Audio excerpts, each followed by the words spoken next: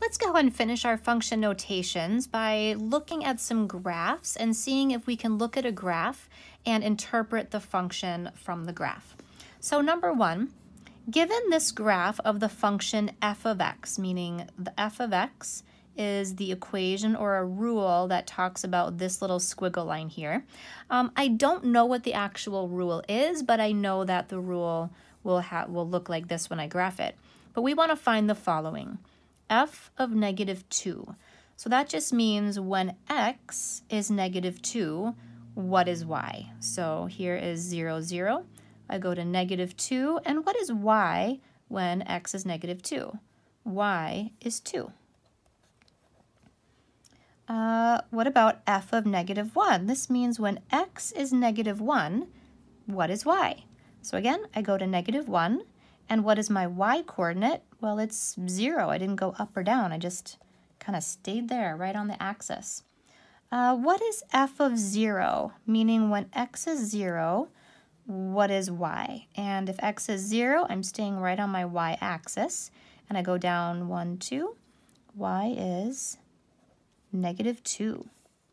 When f of, f of 3, that's when x equals 3. So 1, 2, 3. What is y? 1, 2, mm, it looks like it's around 2.5. So I'm going to guesstimate about 2.5 or 2.5. And if I were to make coordinate points of these, this coordinate point would be negative 2, 2. This one when x is negative 1, y is 0. When x is 0, y is negative 2. And when x is 3, y is approximately 2.5. This says find the value of x when f of x is negative 3. This f of x is basically saying the y value. So when the y value is negative 3, what's the x value? Well, y is negative 3, so negative 1, 2, 3. What's my x value? Well, I have one here, and I have one here. Uh, well, let's see. This one is negative 1, 2, 3, 4. So x could be negative 4, right? And then over here, it hits negative 3, and x would be 1, 2, 3, 4, 5. So x could be negative 4, and it could also be 5. There's actual two values where that could be. And if I were to make points out of them, it'd be negative 4, negative 3, and it would be 5, negative 3. And again, um, I can have the same y value for different x values. That's totally fine. It just can't be the reverse because it's passing my vertical line test. So this is a function. Last one, uh, f of x, or another way of my y coordinate, when y is 4, what is x? So I go to y is 4, 1, 2, 3, 4, and what is the x value? It's right here. That would be x is 1, 2.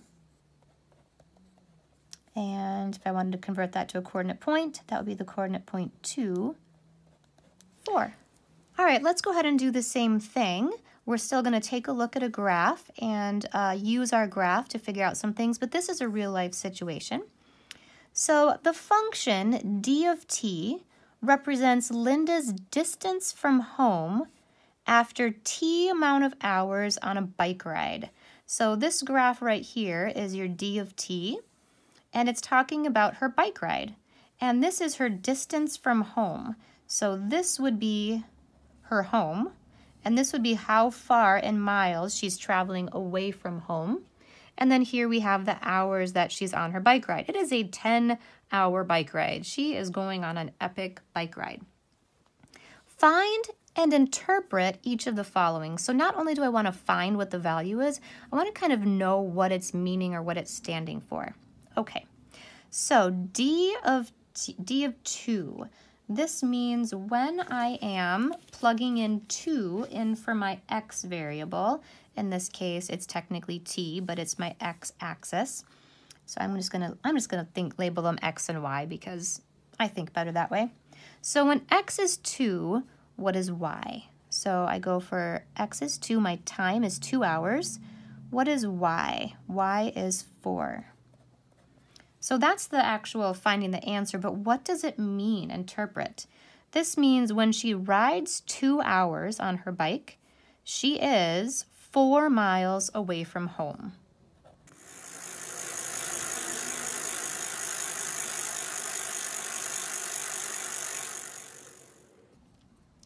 Let's go ahead and find D of 2.75. So I look at 2.75 approximately here, and I go up, ding. And where is she at 2.7? Well, she's still at 4. Okay, when x is 2.75, y is 4. And what does this mean? This little kind of uh, constant right there from hours two to three, she doesn't go anywhere. She stays the same. So maybe she's taking a rest stop. So after riding two and a step, after two uh, and three fourths hours, she's still four miles from home. Is she at a rest stop? Maybe she's eating lunch. Who knows? She hasn't really gone anywhere for a whole hour. All right, D of five. So when x is 5, or 5 hours, what is y? It's about right here, and that looks like it's about five and a half approximately. So interpret that. What does it mean? After riding five hours, Linda is approximately five and a half miles from home.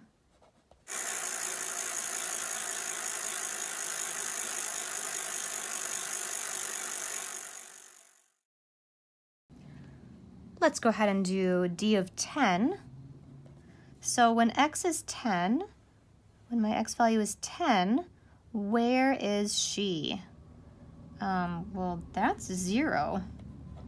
My y value is 0. It's right on the axis. And what does that mean? uh, she's home. So after 10 hours of riding her bike, she is home.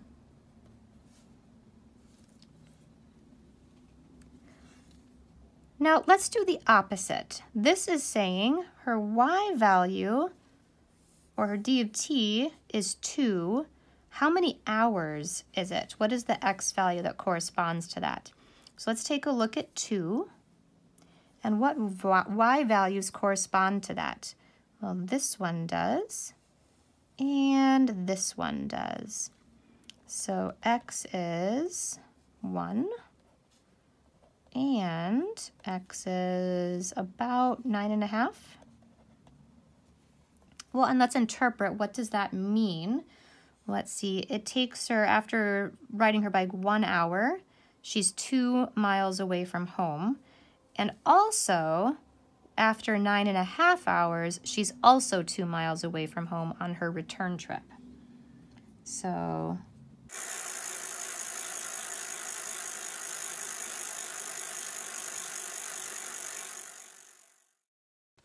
Same thing, d, d of t of 5. Let's take a look at when our y value is 5. Okay, y value, oops, sorry, I was doing the x value, huh? y value is 5. That puts us here. So x is 4. And when the y value is 5, it also puts us here. And that is x is about 8.5. So what does that mean? That means after 4 hours, she's about 5 miles from home. And then on her return trip at about 8.5 hours, she's also 5 miles from home. And then this last one, d of t equals 0. Remember, d of t is just another way of saying y. So when y is 0, she hasn't gone up, and obviously she's not going to go down because distance isn't negative. When what is our x value? Well, our x value would be our starting and our ending point. So x would be starting and ending. And what does this mean? Well, when her journey starts, she's zero miles from home, and she gets back home at 10 hours. So we could just say she took 10 hours to return home or to get back home. So that's kind of a way of looking at our function, at our graph, um, and finding what the points are and what exactly do the points mean. Let's go ahead and do number three. Number three, we are given the equation. So this is slightly different because in number one and two, we didn't have the equation, we just had the graph. Now we're given the equation, and we want to fill out an XY chart, and then we want to sketch a graph. So in our first one, we're going to plug 0 in for x. So f of 0 equals 10 minus 2 times 0. 10 minus 0 is 10. And my coordinate point when I plug 0 in is, y is 10. So I have the point 0, 10 that I'll go ahead and graph eventually.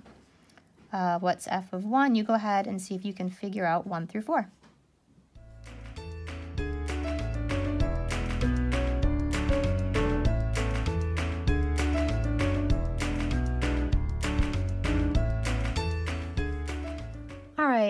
So we have, it's pretty easy when we're given our x value to plug it in and find our y value. I know we're going to have a line because this is the equation of a line and here's our mx and our b kind of switched over.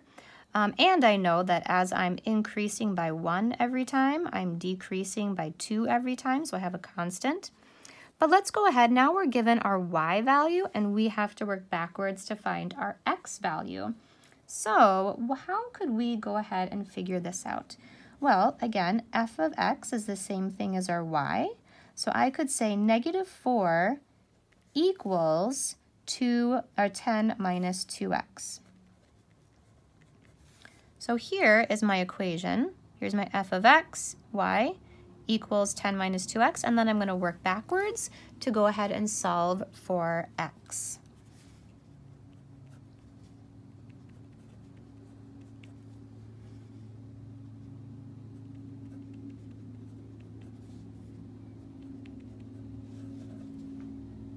So I went ahead and got x equals 7.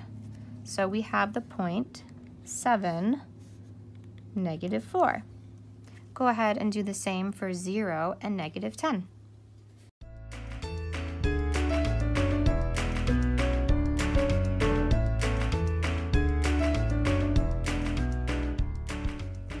All right, so we went ahead and figured out our XY chart. We have a whole bunch of coordinate points. And now our next step was just sketch the graph of it. So we technically, to sketch a graph, we only need two points, uh, and then we can connect them. Although it's nice to do at least three points, so it's a, kind of a guess and check. Um, and then we can guess and kind of see if the rest of these points uh, are on our line.